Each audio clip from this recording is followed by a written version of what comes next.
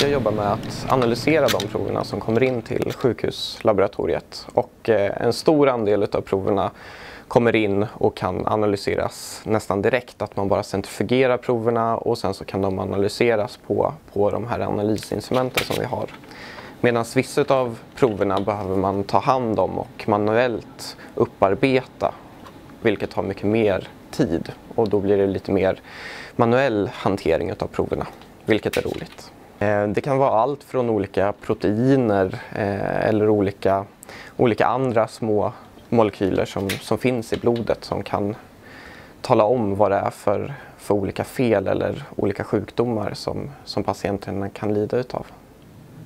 Det vanligaste som vi kollar efter det är ju att man kommer in till akuten och sen tar man ett, en bredd med prover där man tar till exempel ett blodstatus och, och olika sådana Eh, basala delar. Eh, och då tittar man på allmänt hur, hur kroppen mår. Då är det en timme som gäller och det håller vi oftast. Utmaningarna med mitt jobb är att eh, kunna prioritera och eh, att kunna ha många saker igång samtidigt. Att kunna vara flexibel och eh, kunna lösa de problem som kan uppstå under en arbetsdag.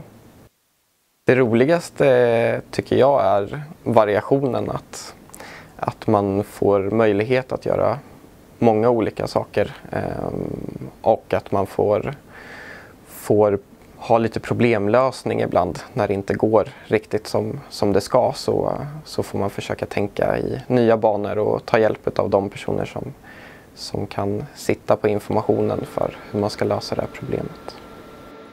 Jag trivdes bra på, på programmet under de tre åren. Ehm, jag tyckte att det var tre väldigt lärorika år och ehm, det var en ganska stor kontrast till hur man var van att, läsa tidigare i och med att man läser enligt PBL som är problembaserat lärande. Så att det är inte lika styrt om vad du ska läsa och hur du ska ta in kunskapen utan det blir väldigt mycket eget ansvar på, på studenten. Men eh, det passade mig bra.